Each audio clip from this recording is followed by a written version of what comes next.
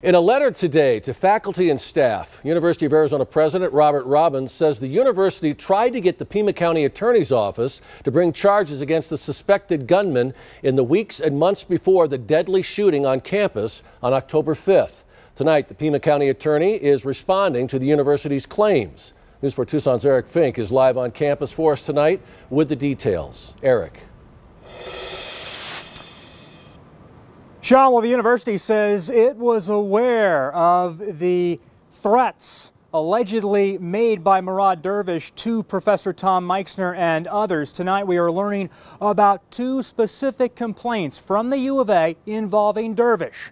Now the Pima County attorney coming forward saying those incidents failing to show enough evidence to charge Dervish with a crime.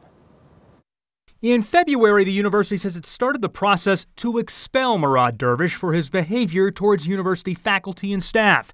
He was formally expelled in June and permanently banned from the U of A.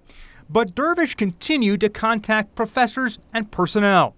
In a letter to faculty and staff Monday, University President Robert Robbins said this past April, UAPD filed a complaint with the Pima County Attorney's Office in hopes of charging Dervish for alleged threats Dervish made to a faculty member.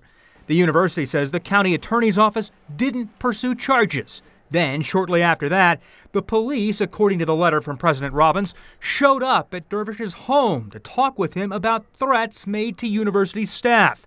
Fast forward to August, when Robbins says the university started to put Dervish's emails to faculty in a separate account so they could be reviewed by police.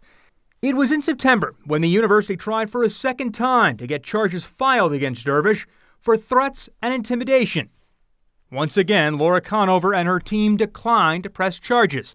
In a statement Monday night, Conover says her office thoroughly reviewed the complaints, but both of them lacked the facts to bring criminal charges against Murad Dervish. Conover saying, quote, our office bases criminal charges on the evidence presented, which must rise to the constitutional standard of proof beyond a reasonable doubt. The complaints brought by UA police in April and again in September did not have sufficient proof to meet that standard, and therefore no charges were filed.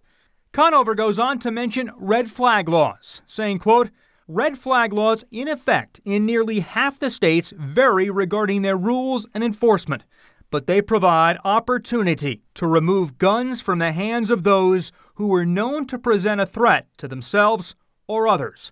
A red flag bill failed to pass in Arizona.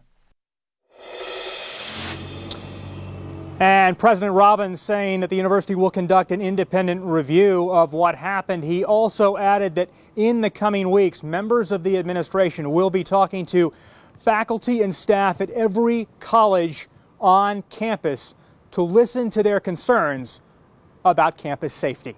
We're live tonight at the U of A. I'm Eric Fink, News 4, Tucson.